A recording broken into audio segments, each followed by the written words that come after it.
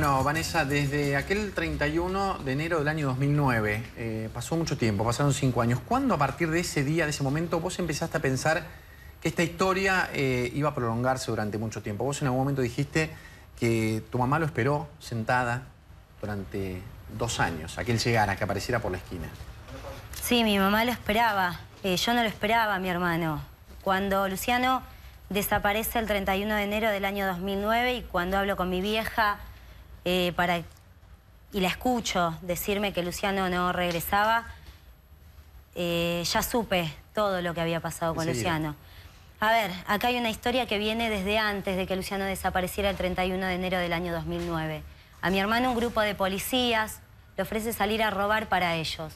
A mi hermano... ¿Cómo te enterás vos de eso? Porque mi hermano me lo cuenta. Te lo contó. Mi hermano se lo cuenta a mi vieja y después me lo cuenta a mí.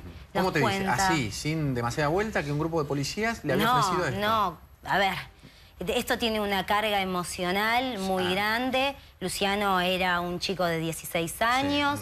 Eh, atrás de esto hay amenazas, hay gente que está todo el tiempo siguiéndote, persiguiéndote. A ver, eh, tratando de meterte preso para golpearte y amenazarte. Es que Luciano no tuvo demasiada opción.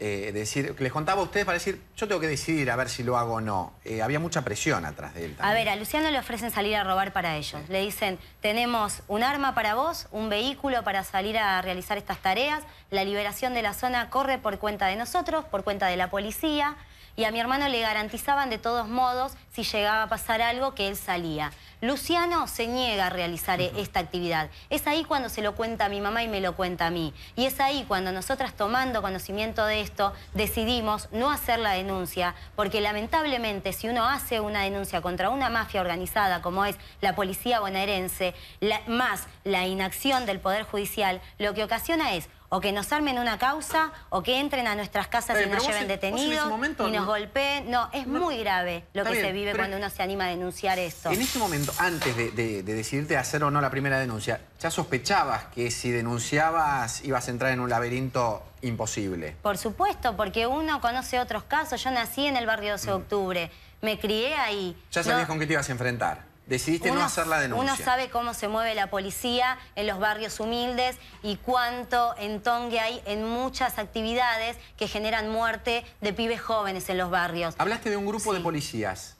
Eh, Luciano te mencionó puntualmente a quiénes se refería. ¿Quiénes eran estas personas que le habían ofrecido armas y le habían ofrecido salir a robar para ellos? Luciano nos cuenta esto y nos dice que no nos va a decir el nombre de un solo policía porque corríamos riesgo nosotras, mi vieja, mis hermanos y yo.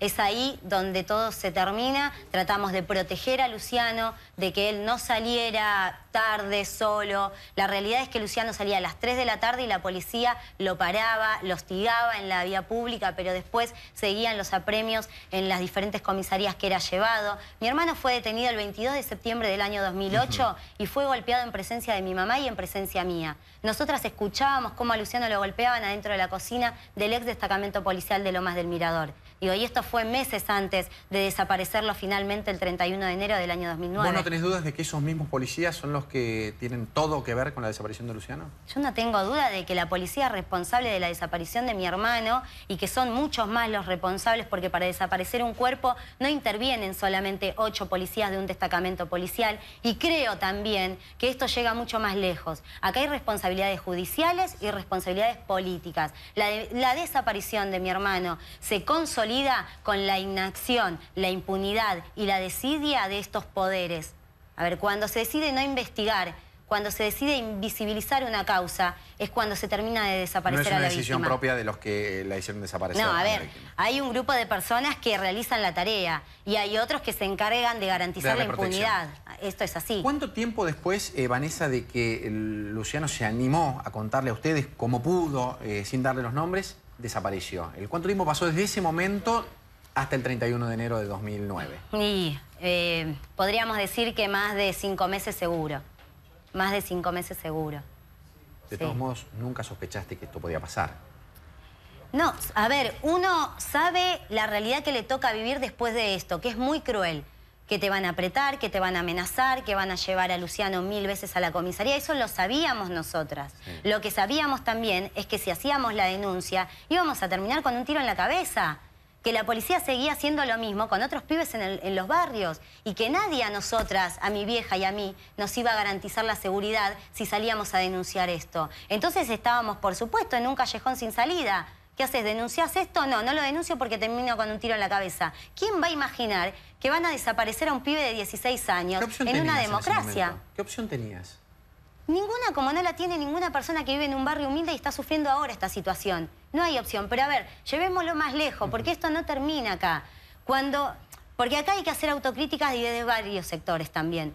Cuando los grandes medios de comunicación hablan de las zonas rojas, que son los barrios humildes, o cuando se instala la figura del pibe chorro, mi hermano, ese pibe morocho, gorrita, el daño que estamos haciendo cuando hacemos eso. supuesto pibecho, sí, es. Claro, porque no hablamos del verdadero foco de inseguridad, que son precisamente las diferentes fuerzas de seguridad que participan, perdón, de la cooptación de menores, más las salideras bancarias, más los desarmaderos de autos, más las redes de trata.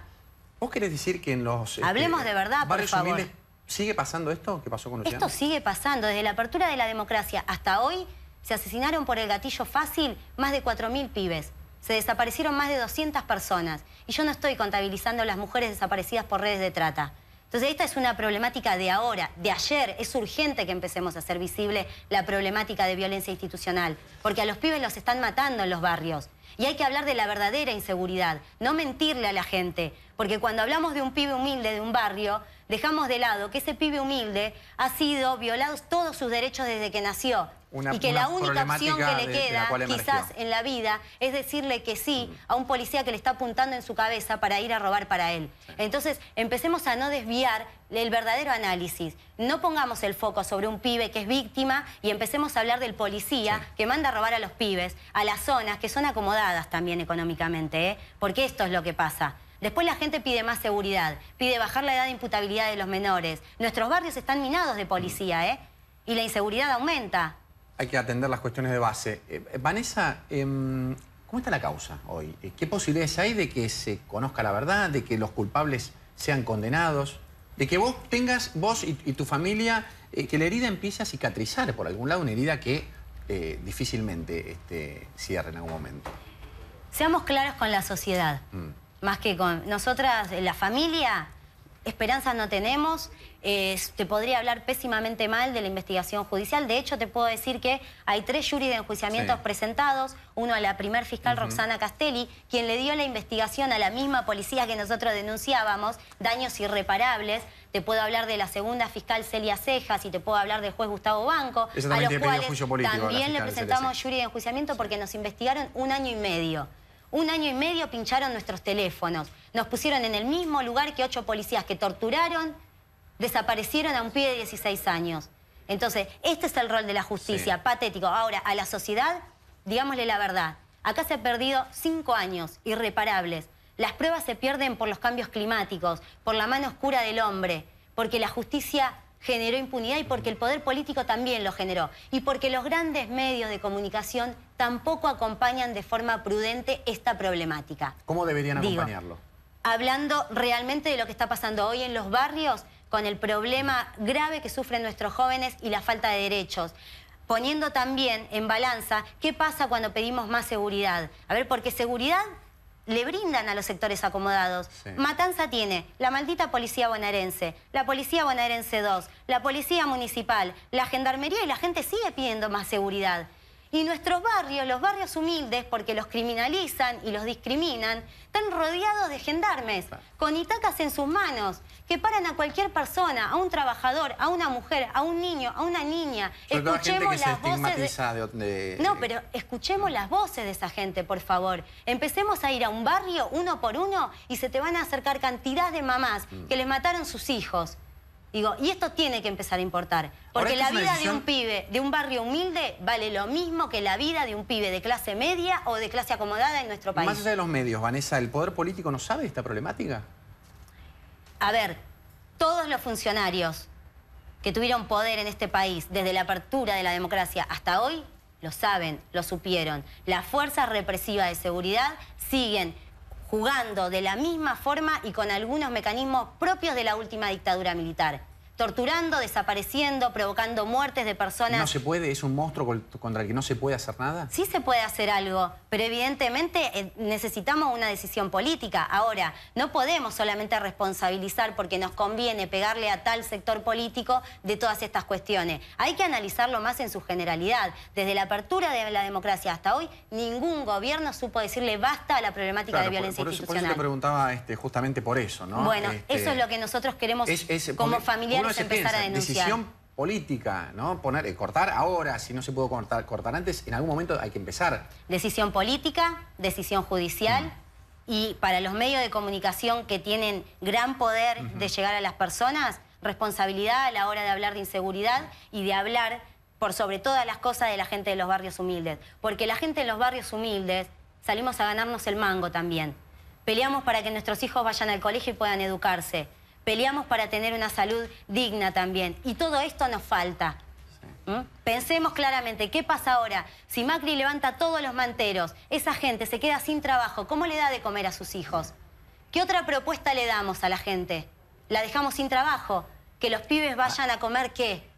¿Qué pasa con esos pibes? ¿Son rehenes de, quién? Sí, por favor, eso estoy pidiendo.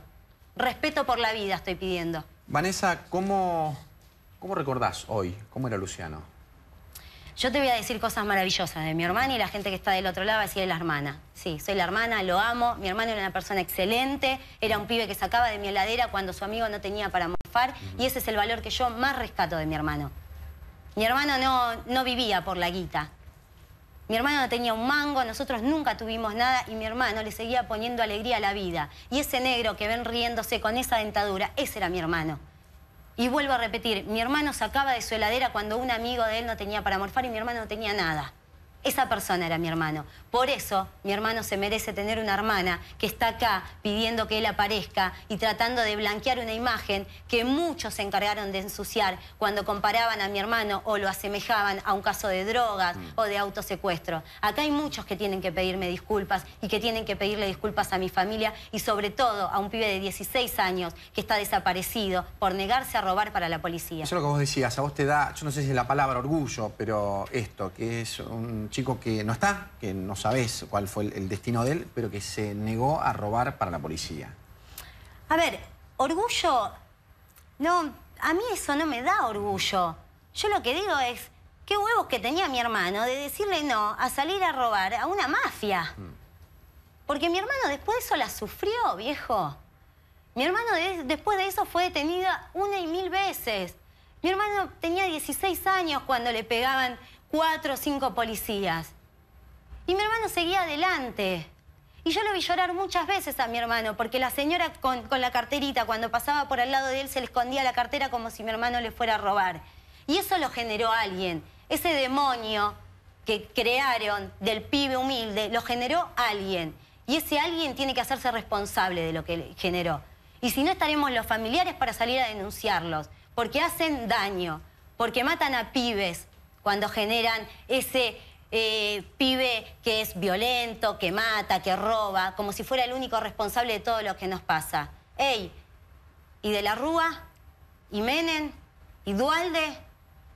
Esa gente está en su casa, ¿eh? Y mataron un montón esa gente. ¿Qué van a hacer hoy en el quinto aniversario? Vanessa, ¿tienen pensado eh, hacer alguna convocatoria, recordar a tu hermano de alguna manera en particular? A mi hermano hoy lo recordamos en todos los medios que podemos. Seguimos denunciando el caso de Luciano porque nosotros queremos encontrar a Luciano.